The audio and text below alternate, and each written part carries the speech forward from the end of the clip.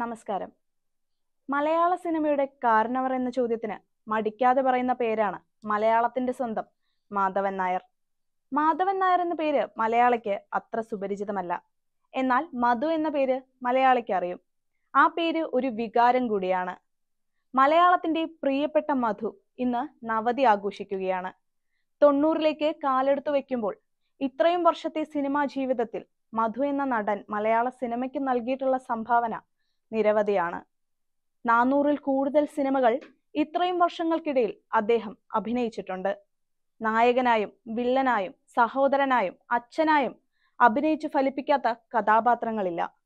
നടൻ എന്നതിലുപരി സംവിധായകൻ നിർമ്മാതാവ് എന്നീ നിലകളിലും വ്യക്തിമുദ്ര പതിപ്പിച്ച മലയാള സിനിമയിലെ അധികായനാണ് മധു എന്ന അതുല്യ പ്രതിഭ. ചെമ്മീൻ എന്ന സിനിമ ഇപ്പോഴും ഓരോ മലയാളിക്കും അഭിമാനമാണ്. ചിത്രത്തിലെ പരീക്കുട്ടിയെ ഇന്നും മലയാളിക്ക് മറക്കാൻ സാധിക്കില്ല. J C Daniel award Padmashri പുരസ്കാരം എന്നിങ്ങനെ നിരവധി അംഗീകാരങ്ങളും മധു എന്ന നടനെ തേടി എത്തിയിട്ടുണ്ട്. ആയിരത്തി തൊള്ളായിരത്തി മുപ്പത്തി മൂന്നിൽ തിരുവനന്തപുരം മേയറായിരുന്ന പരമേശ്വരൻ പിള്ളയുടെയും തങ്കമ്മയുടെയും മൂത്ത മകനായിട്ടാണ് മധു എന്ന കലാകാരന്റെ ജനനം. വിദ്യാർത്ഥിയായിരിക്കെ നാടകരംഗത്തും സജീവമായിരുന്ന മധു അധ്യാപകനായി ജോലി നോക്കിയിരുന്നു. അപ്പോഴും അഭിനയമോഹം മനസ്സിൽ കൊണ്ടു നടന്നിരുന്ന അദ്ദേഹം നാഷണൽ സ്കൂൾ ഓഫ് ഡ്രാമയിൽ തെരഞ്ഞെടുക്കപ്പെട്ടു.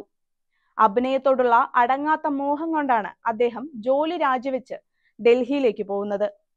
നാഷണൽ സ്കൂൾ ഓഫ് ഡ്രാമയിൽ അഡ്മിഷൻ കിട്ടുന്ന ആദ്യ മലയാളി എന്ന പേരും അദ്ദേഹത്തിന് സ്വന്തം. പഠനം പൂർത്തിയാക്കി നാടകത്തിൽ സജീവമാകുകയായിരുന്നു ലക്ഷ്യമെങ്കിലും നിയോഗം മറ്റൊന്നായിരുന്നു. ആദ്യം അഭിനയിച്ച ചിത്രം രാമു കാര്യാട്ടിന്റെ മൂടുപടമായിരുന്നെങ്കിലും ആദ്യം പുറത്തിറങ്ങിയത് നിണമണിഞ്ഞ കാൽപ്പാടുകളായിരുന്നു. നായകനായ പ്രേം നസീറിനെ വെല്ലുന്ന പ്രകടനത്തിലൂടെ മലയാളിയുടെ മനസ്സിൽ അദ്ദേഹം കയറിപ്പറ്റി. താമസിയാതെ മലയാള സിനിമയിൽ തന്റേതായ ഒരു ഇടവും അദ്ദേഹം കണ്ടെത്തി.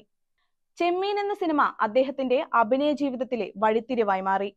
പിന്നീട് ഭാർഗവി നിലയം അധ്യാപിക മുറപ്പെണ്ണ് ഓളവും തീരവും അശ്വമേധം തുലാഭാരം ആഭിജാത്യം സ്വയംവരം ഉമ്മാച്ചു തീക്കനൽ തുടങ്ങിയ ചിത്രങ്ങളിലൂടെ മധു മലയാള സിനിമയുടെ അവിഭാജ്യ ഘടകമായി മാറി.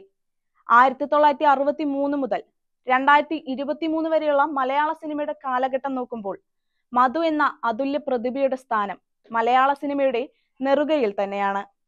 തൊണ്ണൂറുകളിലേക്ക് കാലെടുത്തു വയ്ക്കുന്ന മലയാള സിനിമയുടെ കാരണവർക്ക് തനിനിറത്തിന്റെ ഒരായിരം ജന്മദിനാശംസകൾ.